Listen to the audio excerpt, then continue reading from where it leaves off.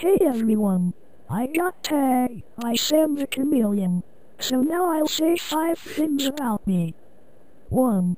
What I'm really afraid of is zombies. I know they don't exist, but they scare me so bad.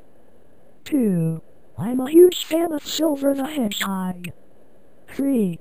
I like to be on the computer more often on games. 4. I really hate it when people say swear words at me. 5. My favorite band is Eiffel 65. I really love their songs.